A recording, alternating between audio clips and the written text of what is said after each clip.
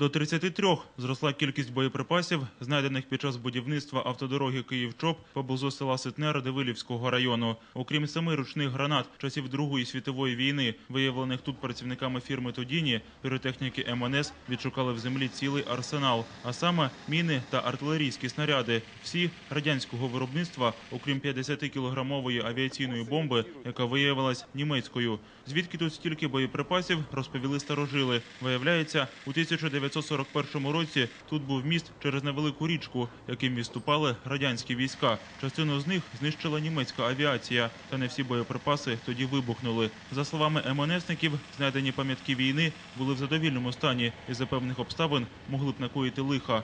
Втім, цього більше не станеться, адже всі снаряди піротехніки вивезли у безпечне місце, де і підірвали.